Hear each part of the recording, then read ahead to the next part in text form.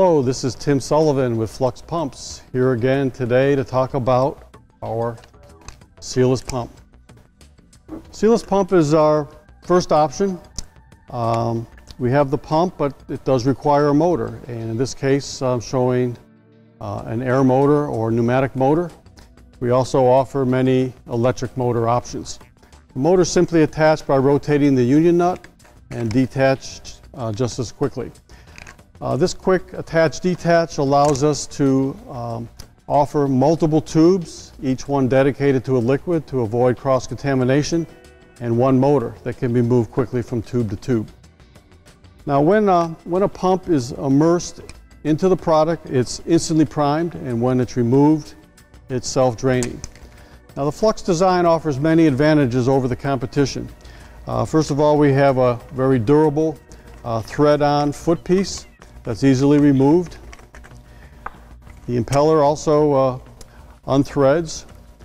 And at this point we have top pullout. So to show some other features, uh, we're looking at the spiral. This uh, gives support to the dry shaft. This is turning 10,000 RPM when in service. So we need su support of this dry shaft at, in the middle as well as the top and bottom. At the bottom we have a, a bearing housing and contained in that is, is a bushing that is quite thick and has a very long wear life. At the top of the pump you can see uh, the bearings and the bearings easily removed from the dry shaft.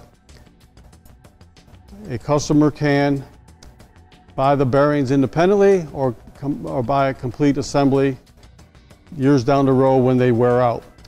Another uh, big advantage of our design is this dry shaft that is reversible in the sense that when it wears at one end, it's going to want to uh, deflect.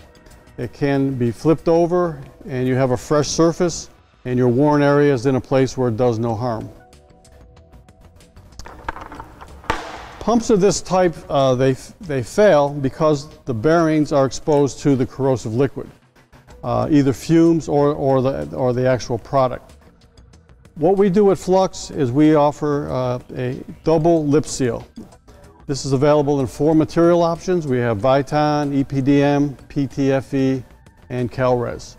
So this is going to give the longest life uh, to, to this type of pump. We also offer are they, the pumps come with a hose connection or an optional NPT male thread on the discharge port.